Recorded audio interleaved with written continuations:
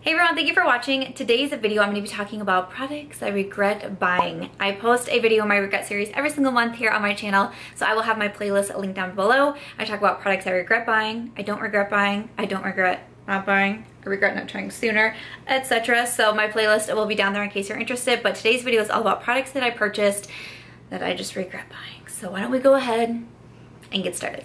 So first up, this product I was so excited about. I was so just like sure that it was going to be great for me. Like, you know, when you have that, you're just like, I know that this is going to work and it's going to be perfect and we're going to fall in love.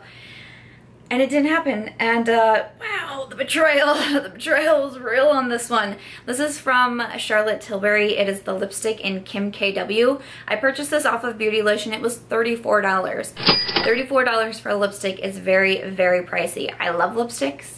I pay a lot of money for lipsticks. Uh, but it really stings when you pay that much for a lipstick and it doesn't end up working on you. Because this really to me I tried it so many times and I just really cannot wear it. Uh, so this is what Kim KW looks like and then there is a swatch of it right there. I mean you can see it is a very very pale nude um, like a pale pinky nude. It's it is very very light but I can wear lipsticks like this. I can pair them with a lip liner. I can pair them with a gloss and it'll be fine. But something about this lipstick, like the formula just does not work on my lips. The color could definitely play into it, but the actual formula, when I put it on, I do have dry lips and it just emphasizes everything about my dry lips. And if I have like flaky lips going on, you can like count the number of flakes I have on my lips when I wear this. It's just, it's not attractive it does this really weird like wearing away thing on the like center of my lips even as I'm just applying it. It's like it doesn't want to stick to that area of my lips. It's really, it's really upsetting. And this was one of those that I thought for sure, I was like, I'm definitely going to love this one. So I didn't even consider keeping the receipt for Beautylish. And then once I realized, because I kept trying it too. Like I tried it once and I was like, not so good. And the first time I tried it, I did it for like, I was filming an Instagram tutorial and people were like, girl, that lipstick really didn't look good on you. I was like, it's fine. I'm gonna make it work nobody panic and I just kept trying and I kept trying all these different ways and like my lips aren't always super, super dry. Like I go through times where they're fine. And so I kept holding on to it for that time when my lips wouldn't be super dry because I was like, maybe they'll be fine then. And so I, I, I went through that time recently. My lips weren't doing too bad. And I pulled this out and I tried it again. I was like, still no good. So I've had it now for a really long time, but I just, that was how determined I was to make this work for me. So now I don't even think I could return it to Beautylish if I wanted to, but I was just determined, determined to love this and I didn't. I gave it every chance though, man. I gave it every chance, okay?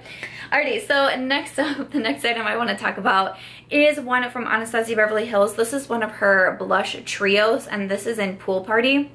So these trios are $30. You can find them on Sephora and also Ulta. I did get mine on sale. I believe it was $21 when I purchased it and I honestly can't remember if I got it from Ulta or Sephora. I truly can't remember. I think they went on sale on both sides at the same time. And I don't know. I know that these were just included in the Ulta 21 Days of Beauty, but I included them in my video and I said they're just really nothing super special to me. This one is in Pool Party. I know a couple people commented and said you really like your trios, um, you know, maybe to try a different color, but truly, honestly, I have a ton of face palettes. I have a ton of blush palettes. I have a ton of blush singles. So it really wasn't necessary for me to go out and purchase another one just to try different colors, especially if this one just didn't blow me away because I like the colors in here. I like that we have a very, very neutral blush. Um, and I like that we have a more neutral blush with a little bit more of pink to it. This middle shade I really don't use at all. It's um, it's more of a hotter pink and it has some gold shimmer in it. But you know, getting two shades, I was like, I wouldn't mind that. And when I put the colors on, they do look really nice on the skin, but I do feel like they fade pretty quickly. And it was just over time, even when I just got it, I just found myself reaching for so many different blushes or blush palettes that this one was getting like buried and buried and buried to the point where when I talked about this in the Ulta 21 Days of Beauty, I was like, I don't even know where that trio is. I had to find it. It was like shoved in a drawer in the back and it truly had dust on top of it. Like that was how long it'd been sitting there being unused for me. So I don't like they were okay but it was just nothing that I was like woo. So I'm glad that I got this one on sale but still I mean I paid $21 for a product that I'm not reaching for so bummer. Know what I'm saying? All right so next up I have this one is from MAC Cosmetics. This is their Fix Plus their matte Fix Plus.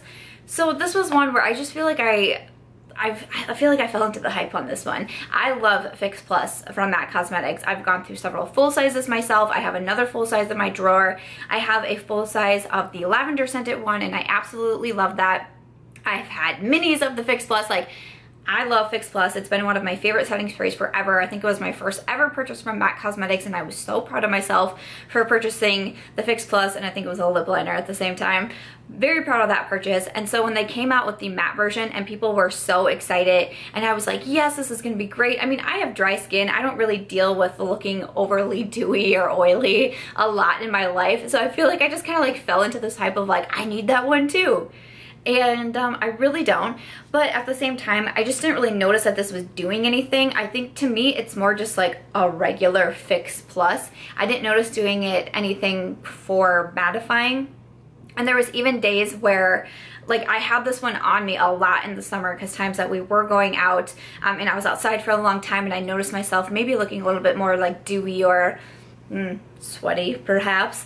Uh, I was grabbing this one out because I was like, I really want to put this to the test. I really want to be able to tell people like, yes, it made my foundation look more matte. It like instantly cleared up my skin and maybe it looks so much better. It really didn't do that. And so I'm still going to use this and I'm probably still going to use it up. I just think for the actual matte part of it, I just didn't notice that enough. Now, maybe if you have very oily skin, I, maybe you'll see this doing something for you and maybe just I was a really bad person to buy this because I don't necessarily need mattifying setting sprays in my life. Uh, but the reason why I feel like I'm upset with myself is because like I said, I have full sizes of Fix Plus in my drawer. Like I didn't need another one. Will I still use this? Yes.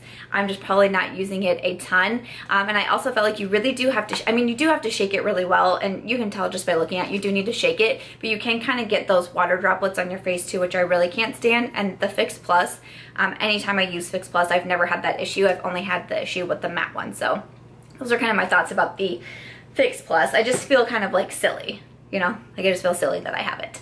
Uh, okay, so then another one here, this is another lip product. This is from Too Faced. It's the one of their Melted Matte Liquid Lipsticks. I just touched on this one kind of recently, so I'll try to um, speed through this part, but I was upset with this one because I have a mini of the Too Faced Melted Matte and Queen Bee. It came in like one of the lip sets and I love it. I love the color. I like the formula. I think it was really great. So um, Too Faced was actually having a deal where I think it was buy one, get one free for a bunch of their different lip products, including these melted mattes. And I was like, you know what? I'm to get another one because I really do um, like my queen bee so like why not get another shade and so I purchased this one in feeling myself and it's uh, more of like a peachy lipstick but this lipstick like what I really regret is not trying it before I decided to wear it to a wedding and having my lips look terrible the entire night so there's a swatch of what Feeling Myself looks like. It's a really nice peachy color. It was beautiful for, you know, spring, summer. It looked great with the dress that I paired for this wedding. It was, a, I mean, a very similar color to this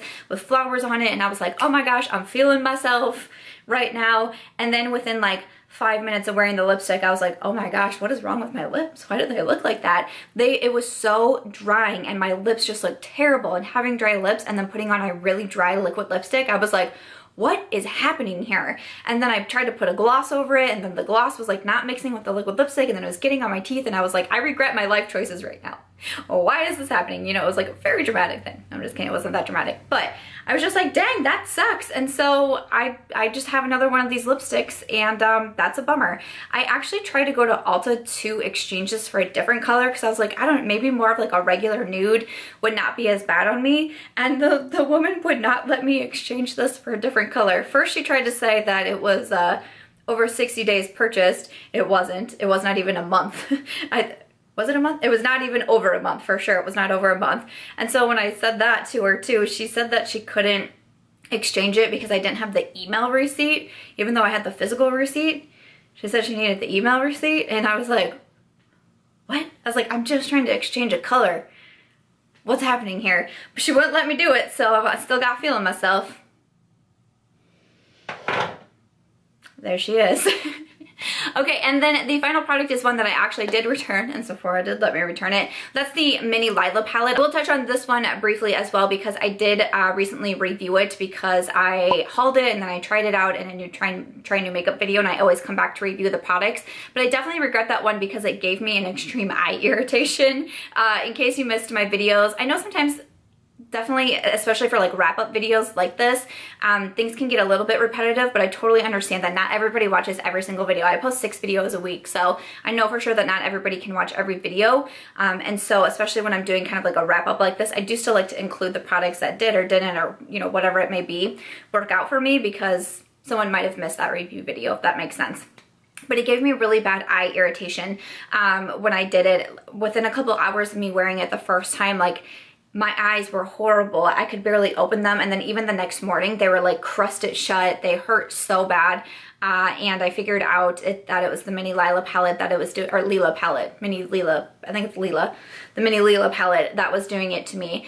Um, and I was super disappointed. It was only $25, so it wasn't the most expensive eyeshadow that I've ever purchased. Uh, and like I said, I was able to return it to Sephora, um, so that was great. But really my biggest regret was like how bad my eyes were. And then I had to try it again to make sure it was this palette because I was also trying a mascara at that same time. So I had to try them separately to see what was doing it. And I thought for sure it was the mascara. So I tried the palette first and then it happened all over again. And I was like, why? so that's my big, big regret there, but unfortunately that one didn't work out for me either. So I don't know. I have the mini Sunset palette from Natasha Denona and that one didn't cause me any issues, but unfortunately uh, I did have to go ahead and return the mini Lila palette. So kind of a bummer. Wish I didn't have to go through that experience, but at least I was able to get my money back for the palette. So I don't know that's nice, I guess. But on that note, that is gonna wrap it up for today's video. Okay, so that is everything for today's video, talking over some recent products that I've purchased that I regret buying for one reason or another. I feel like it's kind of all over the place with today's video, but